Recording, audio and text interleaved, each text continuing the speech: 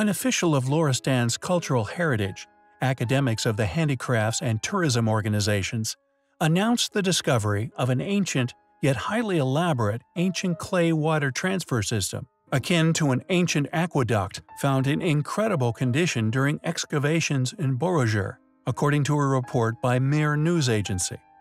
Irrigation systems are yet another area of still existing features which can be found to be indicative of an ancient yet highly advanced constructor.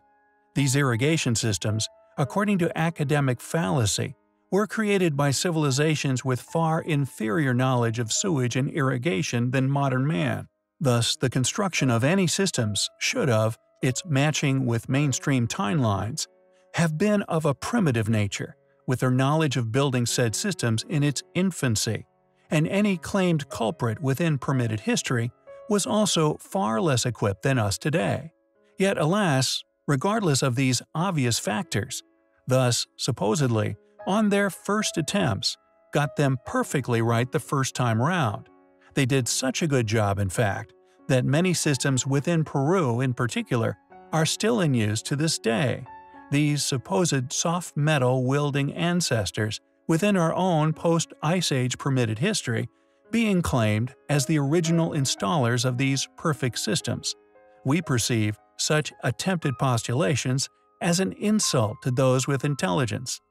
Furthermore, our investigation within Pompeii, for example, although we have also often covered advanced knowledge within metallurgy in the pipeworks, having tin pipes for drinking water, yet lead for sewage, such awareness, such accomplishments, Pompeii is truly an astonishing ancient site.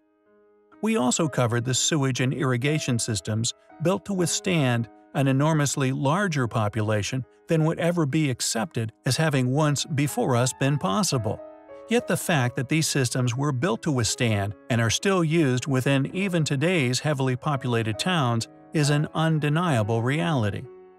In regards to the rather beautiful system unearthed in Iran, however, has predictably thrown a few surprising and for some individuals tasked with upholding current paradigms, rather uncomfortable controversial features surrounding its construction and the precision of its past function.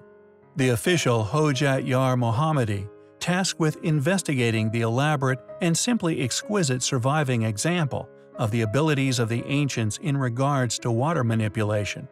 The official said that the ancient aqueduct includes a quote, smart water distribution system and was part of a historic castle.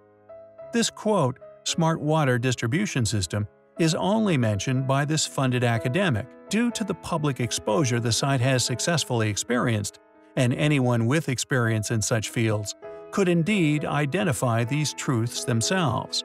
However, no so-called official, or any funded individual or institute for that matter, will ever accept a drastic alteration in man's chronology. The clay pipes, known as tampushe in Farsi, once transferred water for an ancient castle's garden.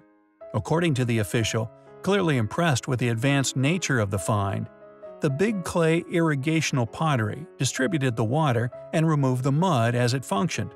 An incredible feat for the time, the system is claimed to have been constructed within. The system minimized the risk of blockage in the flow of water. Yet what stood out about this old system to him the most was its optimal use of water resources. Who built this incredible clay watering system? When did they build it? How did they have such advanced knowledge and abilities in regards to water manipulation? A simple garden watering system from a few centuries ago? Or a once submerged, unearthed, loved and maintained artifact, once again submerged, yet thus, when we have unearthed it yet again, found to be a marvelously preserved artifact, surviving into our age, possibly originating from a lost civilization? We found Borujerd's aqueduct and the subsequent discoveries of its incredibly advanced features highly compelling.